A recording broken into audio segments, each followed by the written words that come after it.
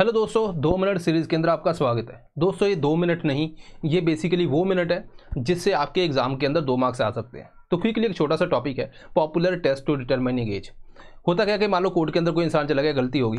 अब वहाँ पे एज डिटरमाइन करना बहुत ज़रूरी है, कि वो अगर छोटी एज का तो अलग, सज़ा मिलती है, बड़ी एज का तो अलग।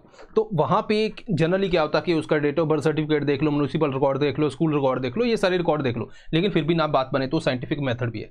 साइंटिफिक मैथड के अंदर सबसे ज़्यादा इंपॉर्टेंट है वो है ऑसिफिकेशन टेस्ट ऑसिफिकेशन के अंदर क्या होता है, जैसे बच्चा है, बच्चे की आप देखो रबड़ जैसी हड्डियाँ होती हैं तो बेड से नीचे गिर जाए, कुछ होता नहीं।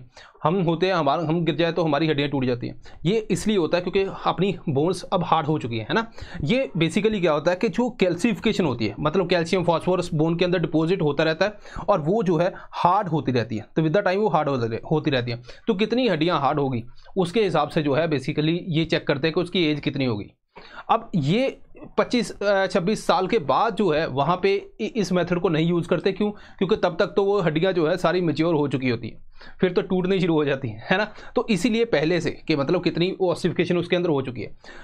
क्या ये श्योर शॉट है? नहीं. इसके अंदर भी कौन से आप क्लाइमेट के अंदर रहते हो? क्या आपकी डाइट क्या है? एनवायरमेंटल फैक्टर ये भी इन्फ्लुएंस करते हैं? तो मतलब ये भी श्योर शॉट नहीं है. ऊपर नीचे थोड़ा हो सकता है. हाँ लेकिन साइड के लिए ठीक है कि उसके बाकी एविडेंस के साथ इसको मिलाया जा सकता है. विजडम टूथ ठीक है? अकल की दाढ़ की बात हम करते हैं तो उसकी एज देख लो. ठीक है ना? इक्कीस बाईस साल के आसपास जो है, वो आ जाता है. तो वहाँ पर भी उसके बेस के ऊपर जो है, वो हम डिटरमाइन कर सकते हैं. देन उसके बाद क्या है दोस्तों? सक्सेस को डिटरमाइन करना वो है रैपिड रिवीजन तो रैपिड रिवीजन अपना स्टार्ट हो, होने वाला है दोस्तों यहाँ पे 1500 टॉपिक 50 घंटे के अंदर. ठीक है? अब तो यूपीएससी ने टाइम भी एक्सटेंड कर दिया और कोड भी इसी खुशी में आप यूज़ करके दोस्तों यहाँ पे एडमिशन ले सकते हो. सी सेट का भी यूज़ कर सकते हो जीएस जीएस का भी और कंबाइन भी आप यहाँ पे ले सकते हो.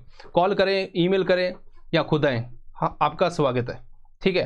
अब बात करते हैं नेक्स्ट वो है एपीजेनेटिक क्लॉक ये इंडिया के अंदर इतना ज़्यादा एक्सप्लोर नहीं हुआ. ये बेसिकली क्या होता है? डीएनए के साथ मिथाइल ग्रुप एड ऑन होता रहता है। वो डिटरमाइन करता है एजिंग तो एजिंग फैक्टर के अंदर भी इसको काफ़ी ज़्यादा जो है एक्सप्लोर किया जा रहा है। तो ये भी एक फैक्टर है। देन उसके अलावा जो है कुछ और भी हैं। जैसे मान लो एक्सरे करते हैं, है ना? देन ये टेनर वाइट हाउस ये बीसीसीआई यूज़ करती है कि भाई अंडर 19 किसी ने खेलना है, पता चला कि वो बड़ी एज का अंडर 19 खेल गया। तो ये एक्सरे होते हैं। कुछ बोन्स के होते हैं जो जिनके अंदर काफ़ी ज़्यादा चेंजेस आती हैं। तो उनके जो है बेसिकली यहाँ पे मेच्योरिटी टेस्ट यहाँ पे होते हैं। ठीक है दोस्तों? जैसे आ, हम बात करते हैं पेल्विस की स्टर्नम की क्लेविकल की तो उनके जो है बेसिकली एक्सरे होते हैं क्योंकि उनके अंदर काफ़ी ज़्यादा चेंज आता है वहाँ से डिटर्मिन करना ईजी है। देन अगर आप देखोगे ये क्रोमोसोम है इसके जो ये कैप होते हैं टीलोमेर्स ठीक है? इसके बेस के ऊपर भी जो है एज को डिटरमाइन किया जाता है। सेक्सुअलिटी के हिसाब से अलग अलग मेच्योरेशन होती है। स्कूल रिकॉर्ड का आपको पता है।